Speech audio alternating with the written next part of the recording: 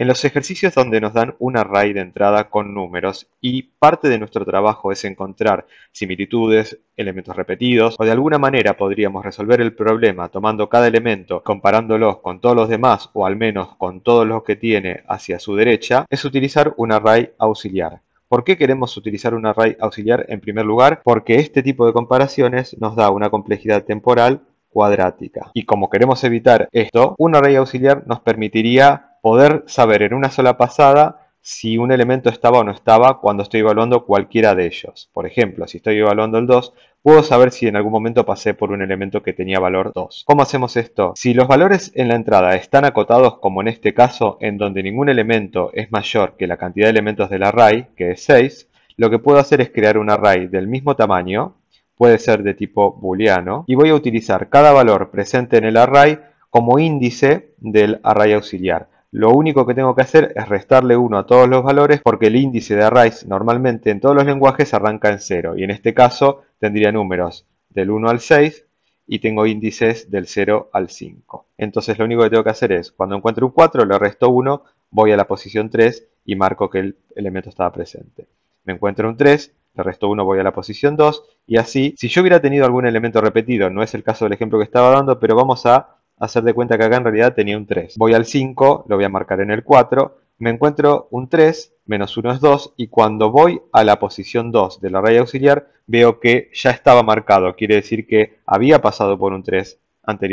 No sé en qué posición estaba, por ejemplo, pero sí sé que estaba presente. Y no tuve que hacer comparaciones cuadráticas. Si quisiera, por ejemplo, saber en qué posición estaba el anterior, podría cambiar mi array auxiliar de boolean a integer y guardarme la posición en la que estaba. Entonces, arranco de vuelta, tengo un 4 en la posición 0 de mi array original. Bueno, le resto 1, voy a la posición 3 y aquí guardo la posición 0.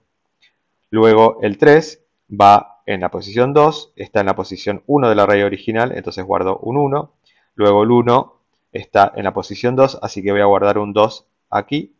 Luego el 5, que va en la posición 4, está en la posición 3, y así sucesivamente. De vuelta, si hiciéramos de cuenta que acá lo que tengo es un 3, cuando voy a este 3, tengo que ir a la posición 2 y me encuentro que ya hay un elemento seteado, podría haber inicializado todo con menos 1 o podría ser nulo, eso depende del lenguaje. Lo importante es que cuando encuentro que existe un número que es un índice válido, me delata que ya había un 3 anteriormente y ahora no solo sé que había un 3, sino que además está en la posición 1 del array original. ¿Qué pasa si mi array de entrada incluye elementos con números muy grandes por encima de la cantidad de elementos del array original? Bueno, por supuesto que ya un array de 6 elementos no me serviría y necesitaría uno más grande. Pero ¿cuánto más grande? Si tengo un número fijo establecido que es viable, podría decir el número mayor posible es 100 y eso está definido por el enunciado, podría ser un array de 100 en este lugar. La otra alternativa sería recorrer una vez el array de entrada para buscar el número mayor, que en este caso sería 60, y entonces hacer un array de 60 elementos y utilizar el mecanismo que explicamos anteriormente. Si el número mayor posible aquí es realmente muy grande, crear un array auxiliar tan grande ya sería poco práctico, así que debería buscar alguna solución más compleja. Podría ir por un hash map, que normalmente está implementado con un hash table internamente, pero hay que tener mucho cuidado cuando utilizamos estructuras complejas en este tipo de ejercicios, porque estas estructuras tienen complejidades específicas para la inserción, para la búsqueda, también tienen complejidades específicas espaciales